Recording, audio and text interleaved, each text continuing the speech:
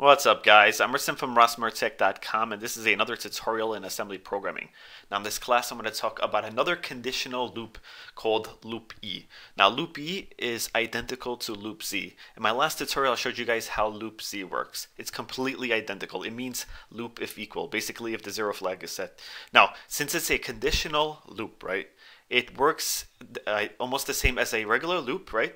The only difference is it has a extra condition. First, the first condition, we, we all know that uh, the CX flag is the counter, right?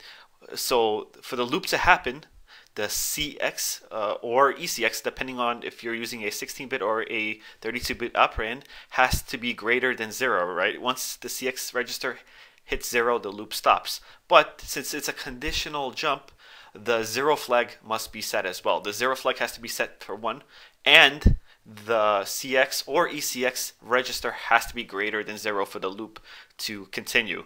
So let's open up emu8086. Since uh, this is identical to the loop Z, I'm going to use the same code that I used in my last tutorial. But the only difference is I, I added a few uh, comments on the side to help us out here. Now, uh, as you can see here, I, I just added the loop E instruction in place of the loop Z.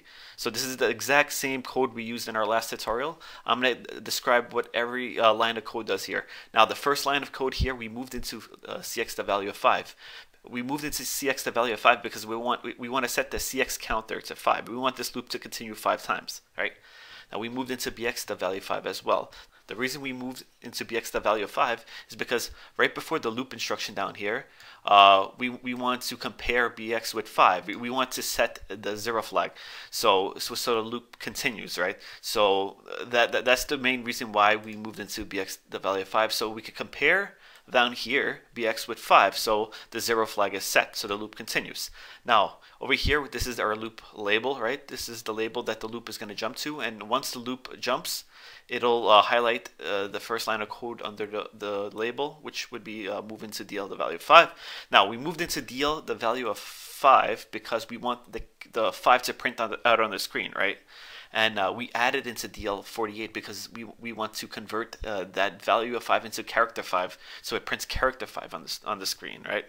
So our next line of code here is move into AH 2H this is the code for print character so whatever value is in the DL register it'll print on the screen INT21H is the code to like initialize the whatever code you want it to do. Like in this case, to move into H to H, it's just a code for do it. It just means do it. Now under here is compare bx with with value of five. I, I just explained to you why we're comparing bx with five. The reason we're comparing bx with the value of five is because we want to set the zero flag, right? The compare instruction sets the zero flag, so we want the zero flag to be set right? The zero flag would only be set if these two operands are equal. In this case, bx has a value of 5 and we're comparing bx with 5. So they're both equal, so the zero flag should be set so the loop will continue. So underneath here we have the loop E instruction, right? Loop if equal. So, so the loop will happen if, again, cx or ecx is greater than 0. Once, zero, once it reaches 0, then the loop stops. And if the ZF flag is set to 1. So those two conditions have to be met for the loop to happen. So let's hit emulate. Let's hit run, right? And as you can see over here, it printed out 5 five times. That's exactly what we wanted it to do.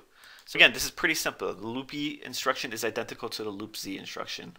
Basically, it's it's a loop instruction with a extra condition. The extra condition is the zero flags have to be set. All right, so that's so that's pretty much it for this tutorial. If you guys like this tutorial, please give me a like. If you want more videos like this, please subscribe to my channel. I'm Rasim from Rasmurtech.com, and thanks for watching.